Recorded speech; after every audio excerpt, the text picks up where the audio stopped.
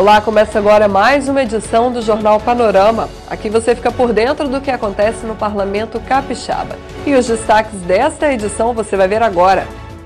Plenário autoriza governo a contrair empréstimos com o BID. Comissão de Saúde conhece iniciativa para agilizar atendimentos na rede pública. Frente Parlamentar quer fortalecer micro e pequenos negócios. Nesta terça-feira, muitos debates marcaram os trabalhos em plenário. Além da sessão ordinária, também teve sessão extraordinária. Entre as matérias aprovadas estão projetos que autorizam o governo a contrair empréstimos junto ao Banco Interamericano de Desenvolvimento. A repórter Patrícia Bravin tem mais informações.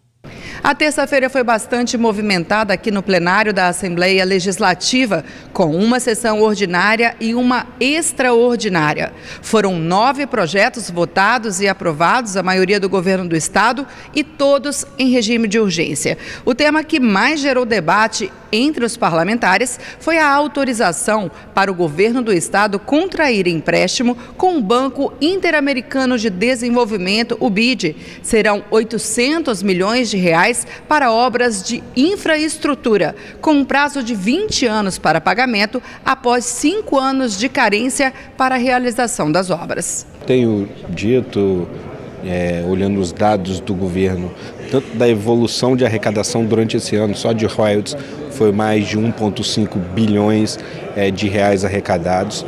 Nós aprovamos dois fundos recentemente que nos próximos 10 anos vai arrecadar 10 mil, bilhões de reais, ou seja, nós já temos dinheiro em caixa e dinheiro provisionado.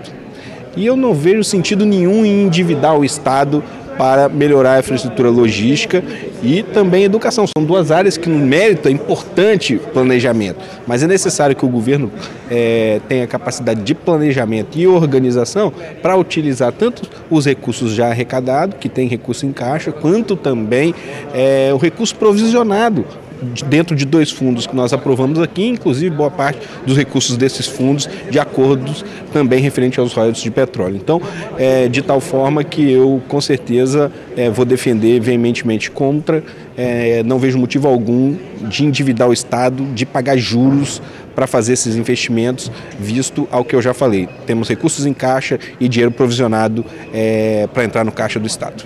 Nós temos hoje, o dever de casa que fizemos, um recurso do Tesouro do Estado no Caixa do Tesouro.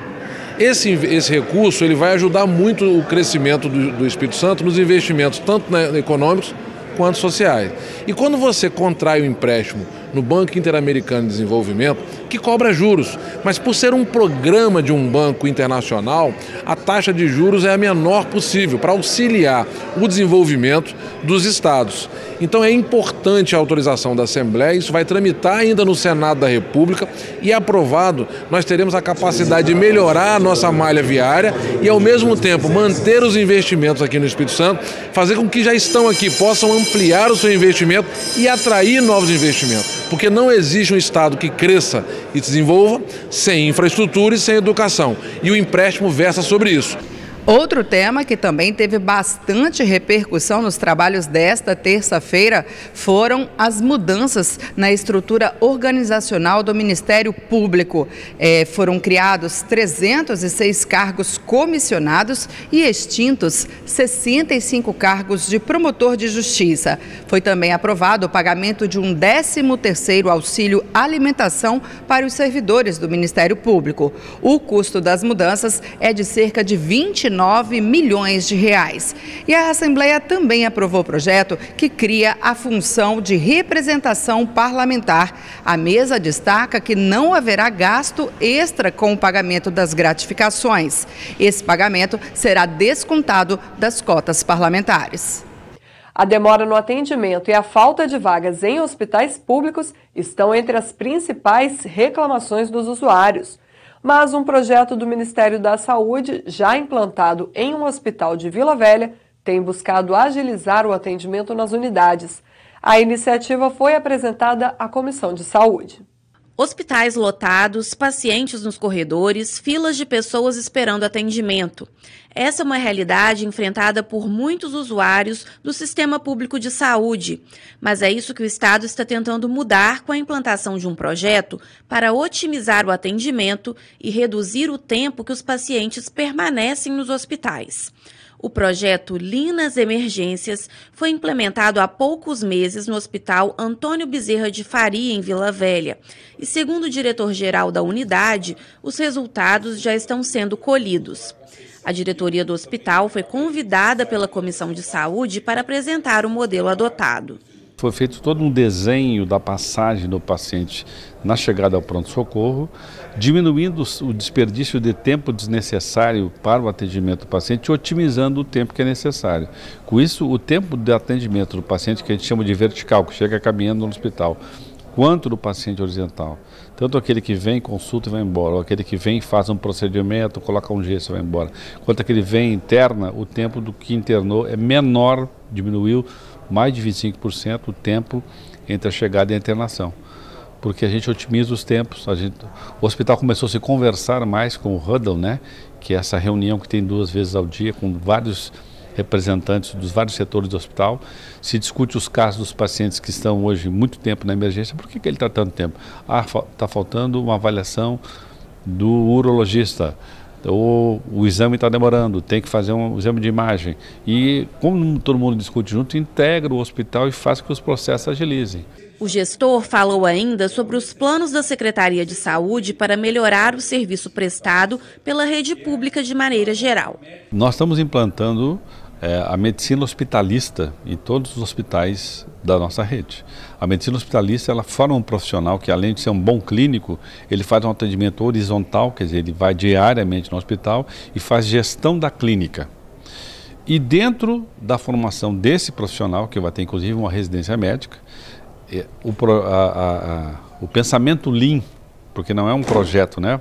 No fim, não é um projeto, é, é uma filosofia de trabalho. Ela também está, já está embutida nessa formação e será feita em todos os hospitais da rede. O convite à diretoria do hospital foi uma solicitação do deputado Hudson Leal. É uma coisa simples que está fazendo: gestão pública, gestão pública. Então, assim, eu acho que o nosso custo com saúde é alto e o paciente, a população, merece um tratamento digno e de qualidade. É o que está sendo feito no Antônio Bezerra de Faria. Quem saiba, no final de três anos, quando as equipes de saúde, saúde da família estiver funcionando, nós não tenhamos paciente no corredor, que é o desejável. A CPI dos crimes cibernéticos e a Comissão de Proteção à Criança e ao Adolescente tentam apurar denúncia contra um professor da Serra acusado de assédio por três alunas. O problema é que, mais uma vez, o convocado não compareceu à Assembleia para prestar esclarecimentos. Pela segunda vez, o professor de matemática da escola Clóvis Borges Miguel da Serra não compareceu à reunião conjunta da CPI dos crimes cibernéticos e da Comissão de Proteção à Criança e ao Adolescente. Os deputados querem ouvir o docente sobre denúncias de que ele teria assediado alunas. Assim como na primeira convocação, no dia 2 de julho, o professor apresentou atestado médico alegando problemas de saúde. A nova data para depoimento é o dia 6 de agosto. Os deputados decidiram encaminhar os atestados para serem analisados pela Polícia Civil. É muito comum as pessoas que estão sendo investigadas ap apresentarem evasivas. Eu já tive casos que investiguei na Polícia Civil, onde a pessoa, em um vínculo, ele estava doente, por exemplo, um atestado de 20 dias no local, e no outro vínculo ele não estava doente. Já tive casos, por exemplo, da pessoa com problema seríssimo de coluna, apresentou um CID lá com problema seríssimo de coluna, e eu mesmo passei posteriormente de Jardim da Penha, essa pessoa estava tirando aquela, uma televisão de 29 polegadas, aquela grandona pesada pesada, antiga, tirando de dentro do porta-malas de um carro. Então, isso pode ser um, um, problema a ser investigado pelo delegado e pode culminar até com o indiciamento do próprio médico, como eu já fiz em alguns casos, indiciando o próprio médico. Então eu acho que deva ser encaminhado para a autoridade, foi votado aqui a unanimidade, para que seja encaminhado para a autoridade competente. O delegado, obviamente, vai investigar o caso. Se for o caso, ele pode até é, agilizar num pedido de prisão desse professor.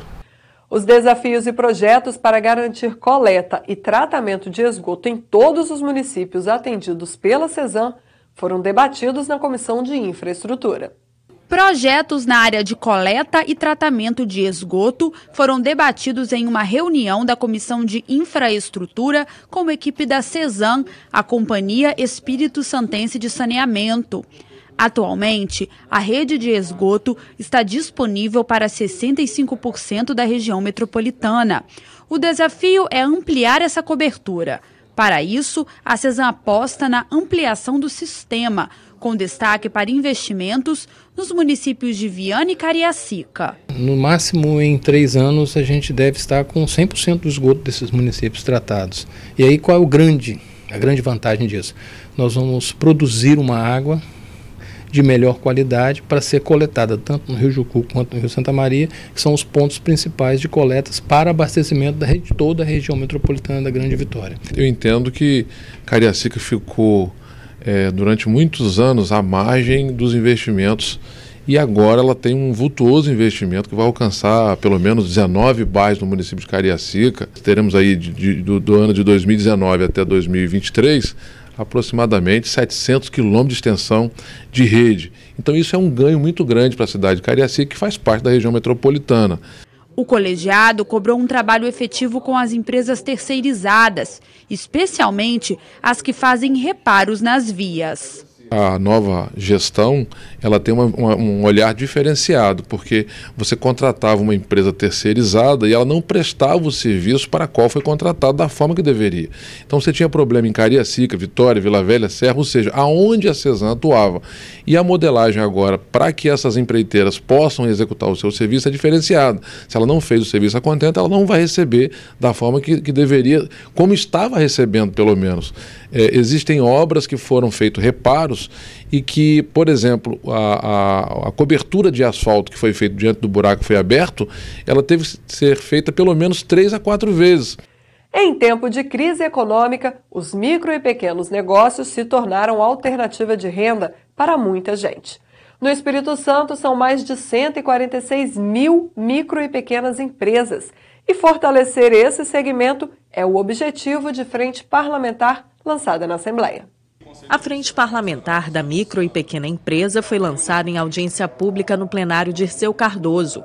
O idealizador e presidente do colegiado, deputado Luciano Machado, destacou que no Espírito Santo esses empreendimentos são responsáveis por 70% dos empregos formais e que o objetivo da frente é ampliar esse número. Nós temos que respeitar, trabalhar, cuidar bem e diminuir a burocracia, a, trazer a boa burocracia, a agilidade, para que tenha uma boa performance e para que o setor se sinta prestigiado e com leveza no que vai fazer, para, que, para que os entraves sejam diminuídos. A audiência pública teve a participação de empresários e representantes de entidades e órgãos que trabalham com políticas de incentivo ao empreendedorismo. Contou também com o apoio e a experiência da Frente Parlamentar da Microempresa do Congresso Nacional. O que eu proponho é que a gente faça um intercâmbio cada vez maior da frente lá no Congresso com as frentes nos estados, porque é possível que é, é, o diálogo entre os atores políticos, os deputados federais, senadores e deputados estaduais, juntamente com os órgãos do governo federal e do governo do estado, possam promover debates, seminários e, ao mesmo tempo, discussão sobre o marco legal que favoreçam as micro e pequenas empresas em todo o país. Eu creio que né, faremos uma boa parceria. A Assembleia Legislativa assinou um termo de cooperação com o SEBRAE, Associação dos Municípios e Agência de Desenvolvimento das Micro e Pequenas Empresas, colocando os canais de comunicação da Casa, em especial a TV Assembleia, à disposição para veicular programas produzidos pelos parceiros que incentivem o empreendedorismo para que eles possam fazer chegar a, a, cada vez mais casas, às mais pessoas, é, a questão do, do micro e pequeno empreendedor, a forma de fazer né, a sua regularização da sua, da sua atividade, enfim. Então é uma forma, uma parceria para que a gente ajude a divulgar e fomentar uh, o importante trabalho que o SEBRAE vem fazendo no Espírito Santo. Para o Sebrae Nacional, a iniciativa da Assembleia do Espírito Santo deve se tornar exemplo para outros estados e municípios. O ideal é que a gente tenha nos 5.571 municípios desse país, as casas legislativas municipais também criando frentes dessa maneira para que a gente possa tocar cada vez mais o nosso empreendedor, o coração dele, lá na ponta onde as coisas acontecem. Essas foram as notícias de hoje. Eu agradeço a sua companhia nesta edição do Jornal Panorama. Continue ligado na programação da TV Assembleia, o seu canal Cidadão.